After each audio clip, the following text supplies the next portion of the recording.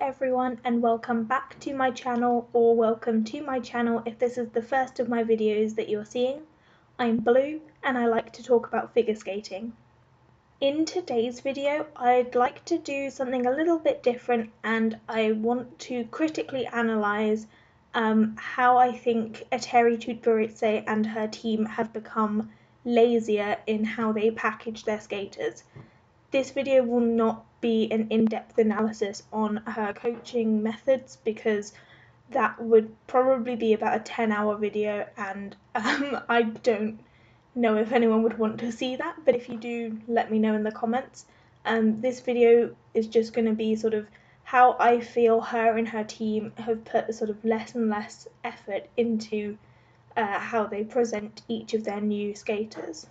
I'm sure everyone knows, but just in case anyone doesn't, um, Eteri is a figure skating coach who mainly works with female single skaters um, at the Sambo 70 Skating Club in Moscow, and she's coached quite a few skaters to um, high success in international competition. And that's all I'm really going to give as a biography for her specifically now as someone who doesn't particularly follow um, Russian domestic skating very much, particularly at the moment, um, and as someone who's not that invested in Eteri and her students, um, so this is sort of an outside perspective and an outside point of view. I feel like her team has become much less invested in trying to come up with an individual story for each of their skaters and I'm going to explain this through a couple of keynote skaters. The first is, of course, Yulia Lipnitskaya, and Eteri was her coach um, when she became the European champion in 2014 and also when she won gold in the Olympic team event in 2014 and silver at Worlds that same season. For Yulia, she is very well remembered for her Schindler's List free program, um, particularly at the Olympics, because it was considered so moving, and that really helped to give Yulia um, a particular image. Yulia was known for her amazing flexibility, her beautiful spins. She was fantastic at conveying emotion.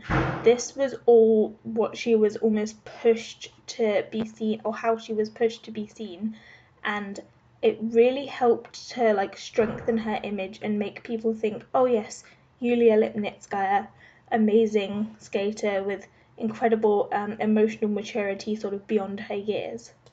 And that really came because the team pushed and backed that image for her and supported it. And then I'm going to group the next two skaters together. So we have Evgenia Medvedeva and Alina Zagitova. So um, I'm grouping these two together because they almost came at the same time. Evgenia obviously had her senior debut a couple of years before Alina did, but the way they were presented is um, still like uh, the team still put like a lot of thought behind it, it seems. So Evgenia was known for her uh, interpretation, her storytelling. She was seen as the better component skater, whereas Alina had um, fully backloaded programs, much harder technical content. She was seen as the technical skater. And uh, Team Tutberidze really laid into these images. They gave Evgenia the, for, particularly for the um, Olympic season, they gave Evgenia um, almost more like abstract and creative programs uh, in the short, for example, when she had to try and convey like dying. and then they gave her Anna Karenina, where she had to portray the entire story in four minutes, which is an incredible feat. Uh, in contrast, Alina was given two very well known pieces of music that she could almost use as a backdrop for her amazing technical content as Team Tutberidze was um, showing it, was presenting it. And they gave these two girls very different um, polarizing um, like they presented them as sort of two polar opposites but they still put energy and effort into presenting them that way if that makes sense and then the next group of three i feel like this is where eteri's energy kind of starts to dwindle after them So we have 3A next, which is Alena Kostornaia, Alexandra Trusova, and Anna Shcherbakova. And so um, Alena Kostornaia, or Aliona Kostornaia, I'm not sure how to pronounce her name, I'm sorry.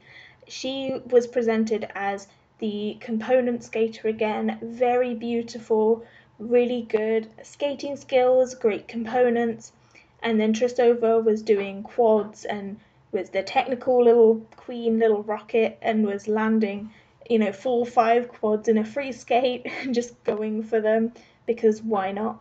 And then Anna was somewhere in the middle. She did do quads, but she also um, had better components than Trusova. So there was still some form of packaging with the 3A skaters that helped to make each of them distinctive. To me, the problem is with the generation that comes after the 3A. So um, that's Kamila Valieva, Maya Khromykh, and Daria Usacheva.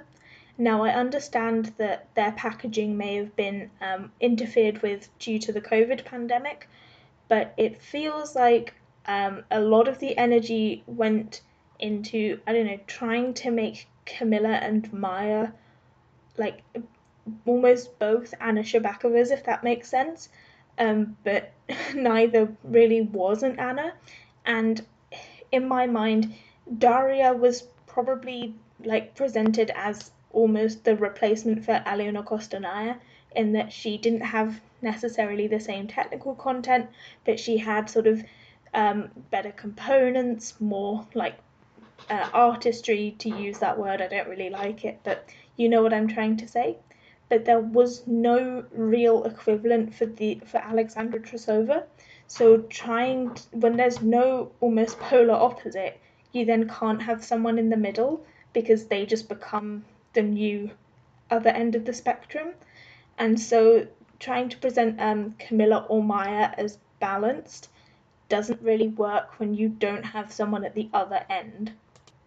And then after um, Kamila, Maya, and Daria, she has, I believe, Sofia Akatieva and Adelina Petrosian. I'm sorry if I've mispronounced their names. Oh, and Daria Sadkova, I think. Um, I'm not too sure on how they are packaged.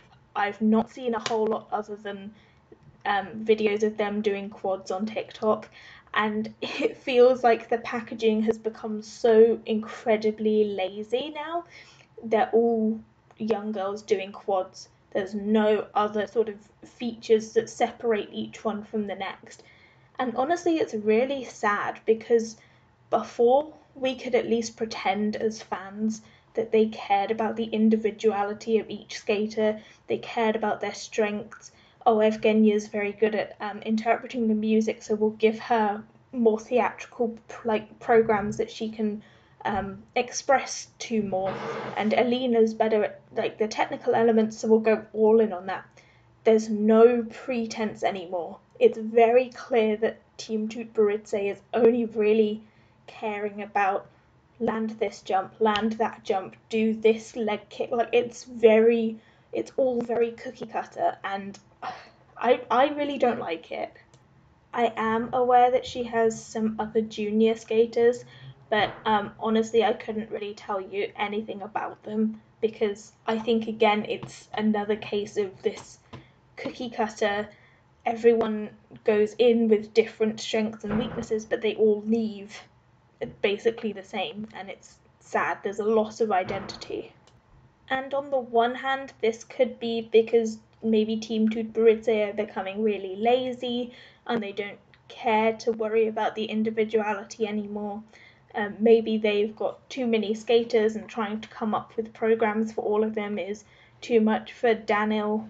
But, you know, choreographers like David Wilson and um, you know, Shae-Lynn Bourne, they choreograph for so many different skaters each season and they don't resort to the same program for every single one, so that's not really an excuse.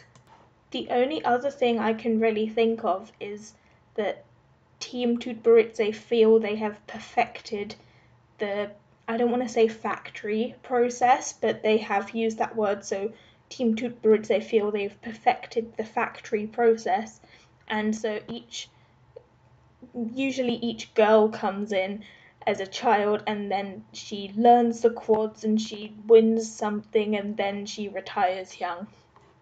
And through perfecting the factory process, there is a loss of identity, but that is, I guess, part of the processing that skaters go through at Team Tutberidze.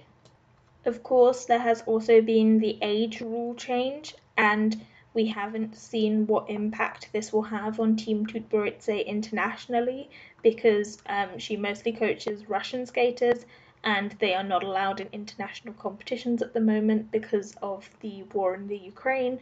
So it will be interesting to see, I guess, what impact the 17 age limit now has on them and if they have to change their process. Thank you so much for watching this video. I really appreciate all of your support. Um, so thank you so much for staying. Thank you so much for supporting me and watching all my videos. I really appreciate it. Um, if there's a topic that you'd like me to cover, please let me know in the description or on my social media. And I will see you in the next video. Bye!